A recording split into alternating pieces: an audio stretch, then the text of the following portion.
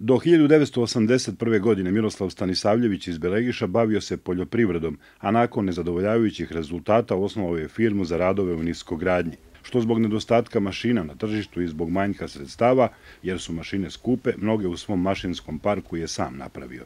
Desetak hiljada kilometara kanala i položenih instalacija za telefon, vodu, struju, gasovod, toplovod i drugo je u spisku referenci. Mene su prepoznale mnoge firme beogradske kao što je Minel, kao što je Pupin Telekom, telefonija, energomontaža, te uglavnom telekomunikacijane firme za koje smo radili i optičke i razvodne telefonske mreže.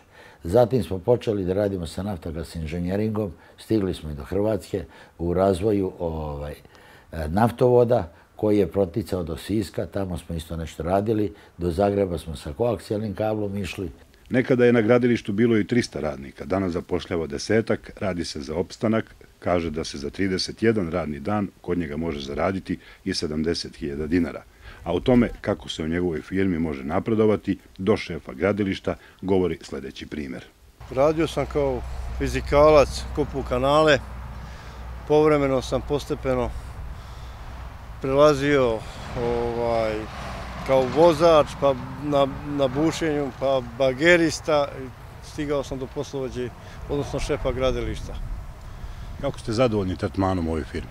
Oh, verovatno dok sam 20 godina da nije loše krediti banaka su, kaže, nepovoljni, a državi zamjera što ne podstiče u istoj meri strane, ali domaće privrednike. Već sada teško dolazi do radnika, dolaze iz Vranja, Horgoša, iz Republike Srpske, a šansu za razvoj vidi u izgradnji atarskih puteva iz fondova Evropske unije.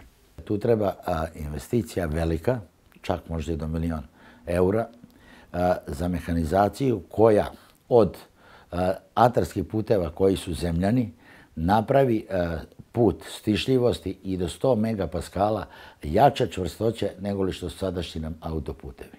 Na pomolu je i veliki posao sa partnerima iz Kine. Kinezi su došli u Telekom i oni dobijaju sada velike poslove.